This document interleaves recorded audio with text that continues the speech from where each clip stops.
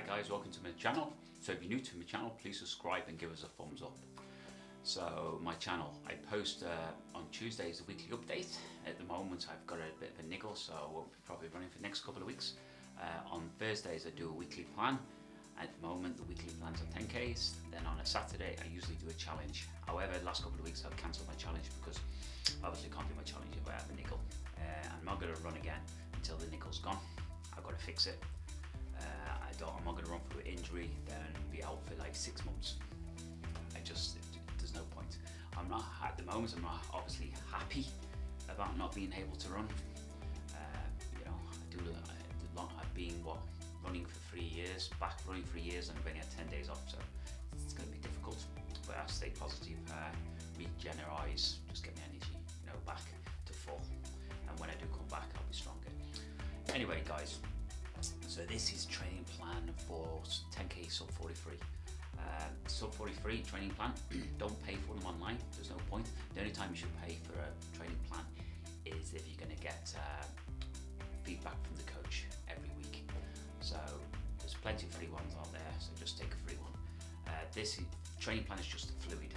what I mean by that, it just gives you an idea. I don't, you don't need to follow it to the T. Like it's a 13 week training plan uh, which is hard to cram everything in. Sometimes you might get injured, you might have niggles, you might be tired, you've got work commitments, kid commitments. So just break it up. If it takes six months, nine months, it doesn't matter, it's just fluid. So basically there's hills in there week four, week eight, four by two minutes. What that means is you run up a hill for two minutes, you stop your watch, mark one, then each time you've got to get further. So give around 80 to 90% effort for the hills. Don't give 100%, you don't want to be injured running uphill is difficult, it takes time to get used to it. Uh, there's 400s in there, 400 you take 60 seconds recovery, if it's not enough, take longer recovery. If, like some time weeks you're doing 18 400s, if, if you're not used to it, it's going to be difficult for you. Uh, so take your time. Uh, there's 1Ks in there, two minutes recovery, it's too much.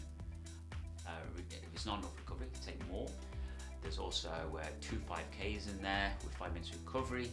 There's also uh, pyramids in there, which is 1k, 3k, 2k, 1k off with two minutes recovery, which is difficult.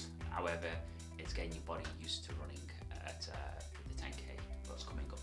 Anyway, guys, that's kind of hit. So we're train hard or die trying. Just remember this: this training plan is free.